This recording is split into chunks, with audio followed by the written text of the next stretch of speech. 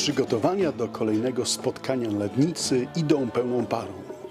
Pewnego wiosennego dnia wybrałem się tam, żeby przyjrzeć się tym przygotowaniom. I oto co zobaczyłem dzięki pomocy Franciszka Wołocha, rzecznika prasowego spotkania. Rozmawiam z Bartkiem, informatykiem, dyrygentem, koordynatorem. Nakręcie, nakręcasz już? To jeszcze raz.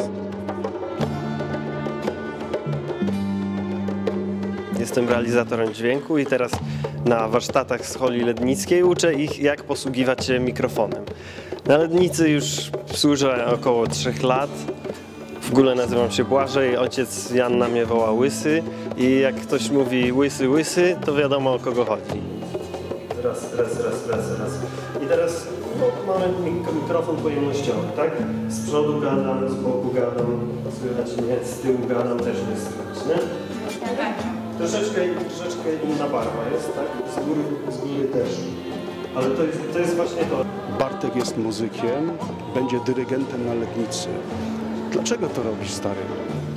Jest to moja pasja, od dziecka się zajmuję muzyką. E, Przekazali mi to moi rodzice i akurat w Poznaniu odnalazłem się i czuję się bardzo dobrze we wspólnocie lednickiej. Mogę się rozwijać i spotykać z ludźmi. Dobrze mi tu. Przyjedźcie na Lednicę. Przyjeżdżam na nią zawsze. Andrzej.